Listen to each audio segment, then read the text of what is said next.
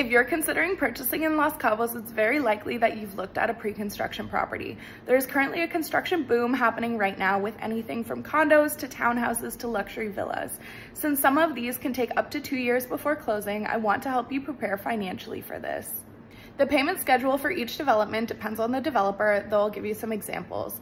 Say you're interested in a condo, you may need to put five to 10,000 down to hold it, 35% down payment within two weeks or 10 days, and the final balance on closing. Alternatively, there might be one more payment between the initial down payment and closing. Alternatively, payment schedules may coincide with the progress of the construction. For an early stage villa, you could be looking at a 30% down payment, 25% when the roof and the structure is completed, another 25 when the plaster is installed, and then 20% on closing. However, if that same unit is further along in the construction process, the developer may request 50% down payment and 50% on closing.